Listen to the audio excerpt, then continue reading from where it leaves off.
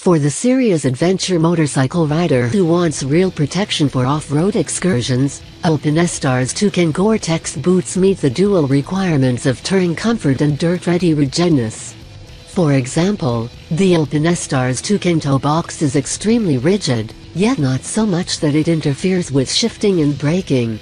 The ankle and calf protection is flexible, thanks to a blade system that allows your foot to move up and down as needed, while still providing the lateral restriction you want. And accordion panel in the calf adds to the flexibility needed to operate foot controls without undue restriction or the need for break-in.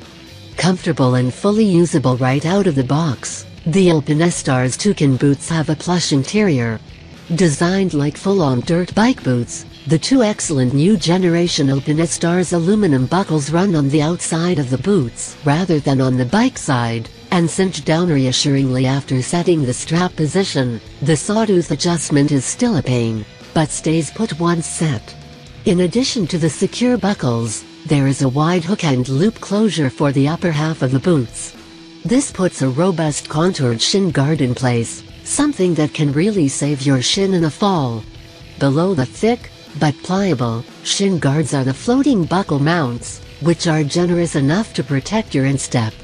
Riding on or off-road, I was always aware that I had top-notch protection for my feet, ankles and shins. That reassuring feeling is crucial on an ADV bike, and gives me the confidence to ride without excessive concern about what will happen if the bike goes down in any situation.